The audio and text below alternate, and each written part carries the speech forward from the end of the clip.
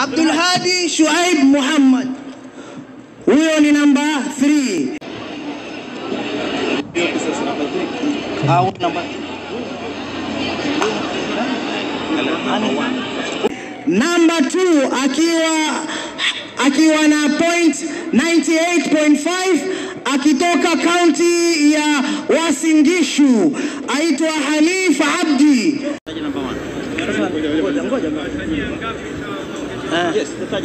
Namba one wetu atoka Uganda akiwa na 99 points aitwa Kabito Hafidh Abdul Hakim.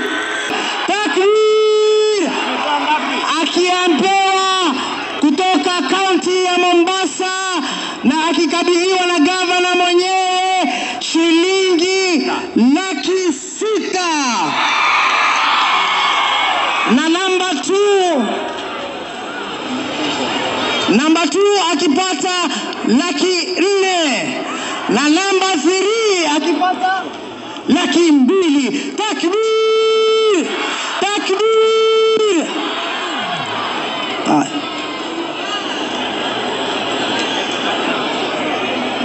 Haya, haya jamani, hatujamaliza. E, kwa wanawake